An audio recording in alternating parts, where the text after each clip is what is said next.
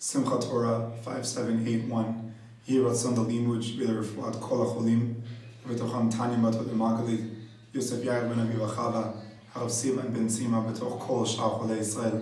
Uli Lui Nishmat, Eitan Eliezer ben Molechai, Yonatan Tuvia ben Molechai. When we go into Simchat Torah, there's obviously a big question. The big question that we have is what is so unique about dancing around the Torah? We could understand that if you're reading it, that you get excited. We could understand that if you're learning it, you get excited. It makes sense that if you're having a shiur, you feel inspired. But to go in circles and circles and circles around the closed Sefer Torah, how is that so significant? How is that so essential? And we can even see this question even deeper when we compare it to Shavuot. Shavuot, we celebrate the learning of the Torah. We learn all night. We understand the depth of what it means to learn Torah.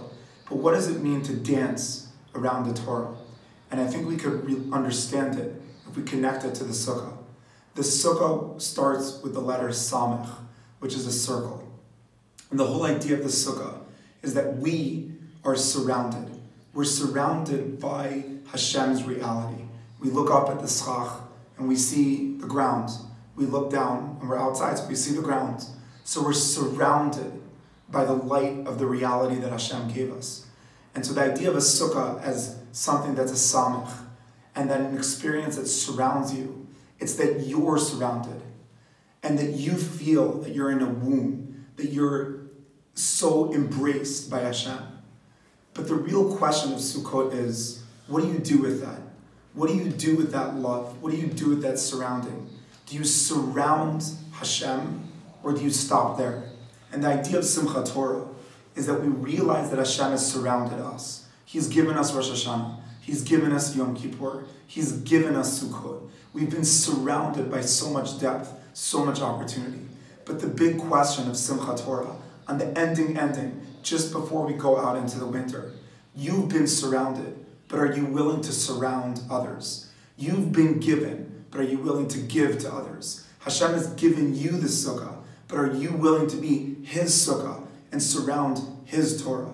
And my bracha as we go into Simchat Torah is that we are so um, in need to understand the beauty of not only what it means to learn, but what it means to live a lifestyle that we recognize that not only do we need the Torah, but that the Torah needs us. And therefore, we surround the Torah to make a statement to ourselves that it's not only that we're uplifted by the Torah, but that we need to lift it up. That we need to take the Torah and take it to a new level, to a new um, um, um, creation.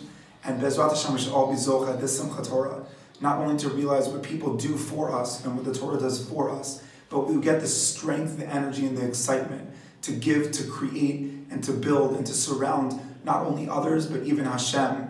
Chag Sameach.